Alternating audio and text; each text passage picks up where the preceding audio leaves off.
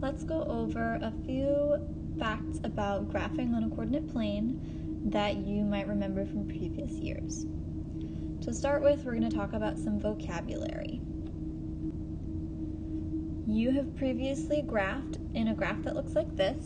You'll learn in sixth grade that this is called quadrant one. And we have quite a few vocab words associated with this. The first is labeling our axes.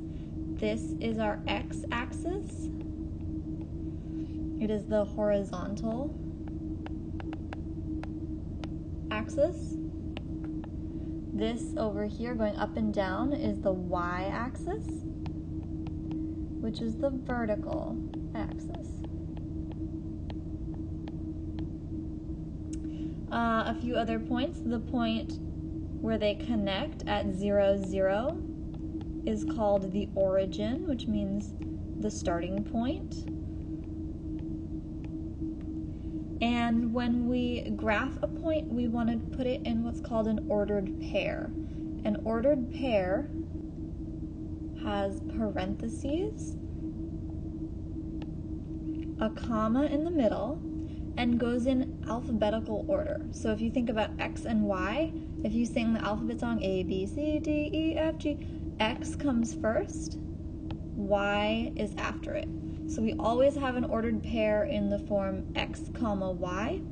We never ever see Y comma X. So let's look at a few points. Here I have graphed four points and I want to know what the ordered pairs are that represent these points. So if I look at A, I'm always going to be starting with my X value.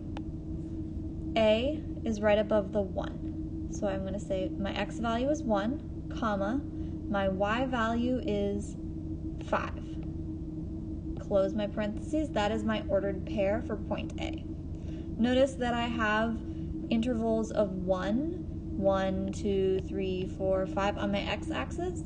You do not have to have intervals counting by ones.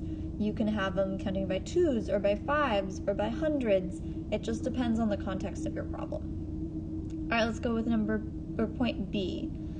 I'm looking at my x values first. Point B is over 7. And then I'm looking at my y values going up the vertical axis. B lines up with 30. So my ordered pair is 7, 30. For C, I have 5, 5. So this one, let's not get confused, we're still talking about the x and then the y, even though they're the same value. And for D, I just wanted to show you a little bit of a harder one. D lines up between 2 and 3.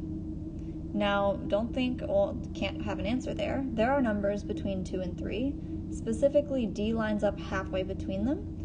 So I could represent that in fraction or decimal form and say that my x value is 2 and a half and my y value is 20. We will talk much more about graphing on a coordinate plane during your sixth grade year. But just as a refresher, remember we always want to have, when we have a graph, we want to have tang. Tang stands for your graph should have a title, like practice graph. The title should normally depend on the context of your problem. Like if you're talking about mm, puppies and how much food they eat, you might title your graph, How Much Food a Puppy Eats. Something to tell the reader what it's about. A stands for axes a single one of them is spelled like this. If there are more than one, plural, they're spelled like that. So you always want to label your x-axis and your y-axis. You also want to give them titles, so I would say puppies and food they eat.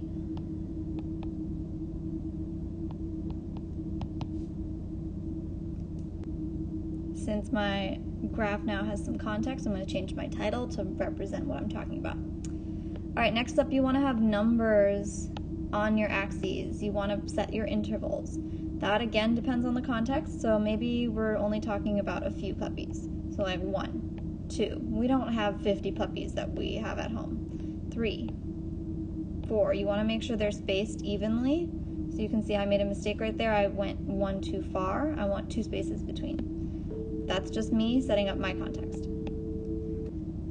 Now maybe food they eat we're measuring in cups. So I'll say I'll count by twos here. Finally, the G stands for graph your points. So when you say, hey, I have uh, three puppies, and altogether the three puppies eat 10 cups of food, you want to make sure to graph it appropriately on your graph. And there's a quick refresher of graphing on the coordinate plane in the first quadrant.